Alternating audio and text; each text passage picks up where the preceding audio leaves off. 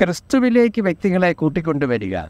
ക്രിസ്തുവിലേക്കുള്ള കൈചൂണ്ടിയായിട്ട് നിൽക്കുക ജീവിതത്തിന്റെ മഹനീയമായ ധർമ്മമാണ്. ശരിക്കും പറഞ്ഞാൽ സ്നാപക യോഗനാൻ ചെയ്യുന്നത് ഇതാണ്. തന്റെ രണ്ട് ശിഷ്യരെ ക്രിസ്തുവിലേക്ക് പറഞ്ഞു വിടുന്നു അങ്ങനെ പോയവരിൽ ഒരാൾ അന്തർയോസ് തിരികെ വീട്ടിൽ വന്നിട്ട് സഹോദരനോട് പറയുന്നത് ഞങ്ങൾ ക്രിസ്തുവിനെ വിശിയായി കണ്ടു. പറയുക മാത്രമല്ല പത്രോസിനെ കൂട്ടിക്കൊണ്ട് വരികയാണ് ചെയ്യുന്നത് ക്രിസ്തുവിന്റെ അടുത്തേക്ക്. പക്ഷേ ഇന്ന് ക്രിസ്തു ഭൂമിയിൽ ജീവിച്ചിരിപ്പില്ല ഒരു ഭൗമിക യാഥാർത്ഥ്യമല്ല. ക്രിസ്തു എന്നത് ഇന്നൊരു ആത്മീയ യാഥാർത്ഥ്യമാണ്. ഒരു മനുഷ്യന് എത്തിച്ചേരാവുന്ന സാധ്യതകളുടെ പരമാവധിയാണ് ക്രിസ്തു. അങ്ങനെയാണെങ്കിൽ ഈ ക്രിസ്തുവിലേക്ക് എത്തിച്ചേരാൻ ക്രിസ്തുവിലേക്ക് ഉണർന്നു വരാൻ ക്രിസ്തു അവബോധത്തിലുണരാൻ എന്താണ് വഴി? സ്നാപകൻ ക്രിസ്തുവിനെ തിരിച്ചറിഞ്ഞവനാണ്. അന്ത്രയോസും അതെ. അവരുമായിട്ടുള്ള ബന്ധത്തിലൂടെയാണ് മറ്റുള്ളവർ ക്രിസ്തുവിലേക്ക് വരുന്നത്.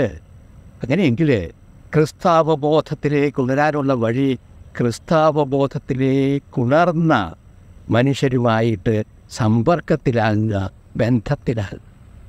എങ്ങനെയാണ് ക്രിസ്താവബോധത്തിലേക്ക് ഉണർന്ന ഒരാളെ തിരിച്ചറിയാൻ പറ്റുന്നത്?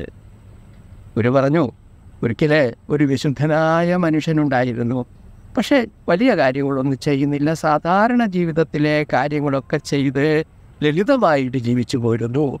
പുഴ അതറിയാതെ എല്ലാവർക്കും വെള്ളം കൊടുക്കുന്നത് പോലെ പൂവ് അതറിയാതെ എല്ലാവർക്കും സൗരഭ്യം പരത്തുന്നത് പോലെ ഫലവൃക്ഷം അതറിയാതെ എല്ലാവർക്കും ഫലങ്ങൾ കൊടുക്കുന്നത് പോലെ ഇയാൾ നന്മ ചെയ്ത് ജീവിച്ചു പോരും.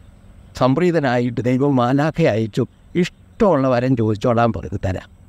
അയാളൊന്നും പ്രതികരിച്ചില്ല. വീണ്ടും മാലാഖ നിർബന്ധിച്ചു. രോഗികളെ സൗഖ്യമാക്കാനുള്ള വരം തരട്ടെ. ദൈവം പറഞ്ഞു വേണ്ട. ഇപ്പോൾ ദൈവം വെച്ചിരിക്കുന്ന ക്രമീകരണം ഡോക്ടർമാരും മരുന്നും ഇതുപോലെ എല്ലാവരും സൗഖ്യം പ്രാപിച്ചുകൊള്ളും. മനുഷ്യരെ വിശുദ്ധീകരിക്കാനുള്ള വഴി ഒരു അതും വേണ്ട. ദൈവം വെച്ചിരിക്കുന്ന ക്രമീകരണത്തിലൂടെ അവരായിക്കൊള്ളും അപ്പം മാരാക നിർബന്ധിച്ച്. എന്തെങ്കിലും ഒരു വരം. നിർബന്ധിച്ചപ്പം ഇയാൾ പറഞ്ഞു ഞാൻ അറിയാതെ എന്നിലൂടെ മറ്റുള്ളവർക്ക് നന്മ കിട്ടാനുള്ള വരം.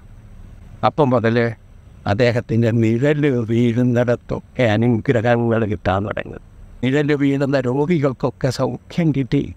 നിഴൽ വീഴുന്ന വരണ്ട ഭൂമിയിലൊക്കെ ഉറവ പൊട്ടാൻ തുടങ്ങി. നിഴൽ വീഴുന്ന വിഷാദരൊക്കെ സന്തോഷചിത്തരാകാൻ തുടങ്ങി.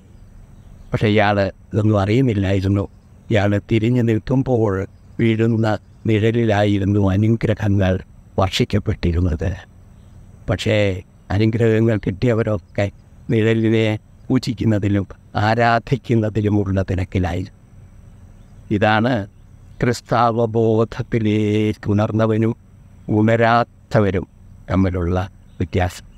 ക്രിസ്തുവിലെത്താൻ ക്രിസ്താവബോധത്തിലേക്ക് ഉണരാനുള്ള വഴി ക്രിസ്താവബോധത്തിലേക്ക് ഉണർന്നാൽ ക്രിസ്തുവിലെത്തിയ വ്യക്തികളുമായിട്ടുള്ള സഹവാസം then come higher.